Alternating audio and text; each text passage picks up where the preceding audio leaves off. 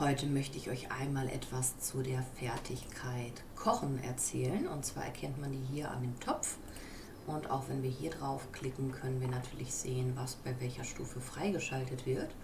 Und um diese Fertigkeit aufzustufen, müssen wir natürlich kochen. Und es gibt zwei Möglichkeiten. Entweder wir kochen an einem Herd oder wir kochen über einem Lagerfeuer.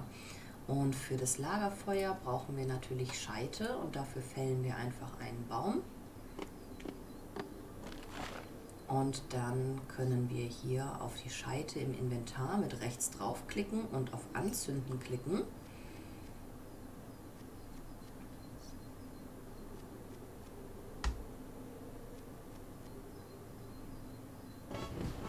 So, und jetzt, wo das Feuer brennt, können wir das benutzen zum Kochen.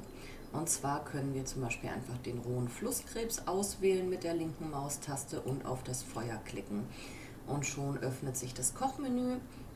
Und er fragt uns, ob wir jetzt die Flusskrebse kochen wollen. Ja, das wollen wir, also klicken wir einfach auf Kochen. Und er beginnt jetzt einfach hier die ganzen Flusskrebse zu kochen. Und wir sehen, dass wir die EP dafür erhalten hier oben. Und genau, wir haben jetzt hier elf Stück. Und er kocht die jetzt einen nach dem anderen. Zwischendurch verbrennen natürlich auch welche, die kann man dann einfach entsorgen.